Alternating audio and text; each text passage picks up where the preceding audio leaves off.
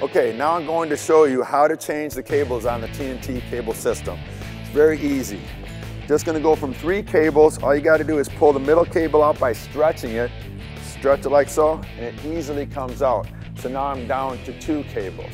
But if I wanna go down to one cable, I'm gonna put this cable back in the middle and take the outside two cables off, stretch, take it out, stretch, take it out, now I'm down to one cable. You want to keep that one cable in the middle because that gives you most efficient line of pull. And that's how you change from three to two to one cables.